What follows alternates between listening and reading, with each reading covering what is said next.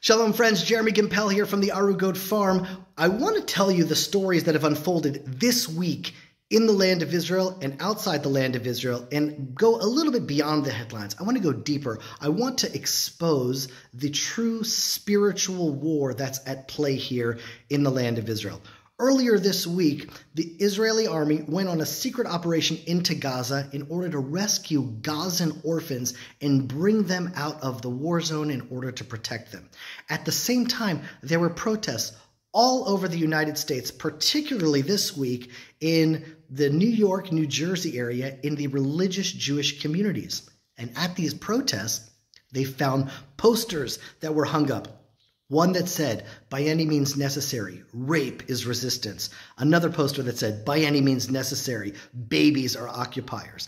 And what these posters are actually exclaiming is, by any means necessary, we can do whatever we want. We want to kill the Jews. We want to rape the women. We want to kill babies. There is no good. There is no evil. There is no truth. There is no God. By any means necessary, we're going to do whatever we need to do to kill Jews. And at the same time, you can't make this stuff up.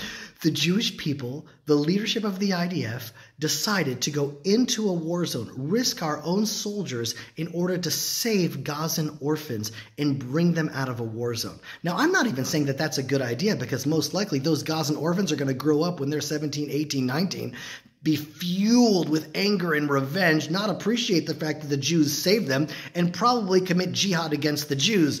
But the principle is there, the intention is there. The leadership of the IDF are fueled by biblical values of being kind to the orphan. And at the same time, there's like a mirror to Israel, the mirror of the good, the opposite of the good that are saying, kill the babies, rape the women, by any means necessary. So when you realize that this war in Israel, it's not like between two sides that are sort of equal. Well, what do you think, Russia or Ukraine? Is this an Afghanistan thing or a Pakistan thing? No.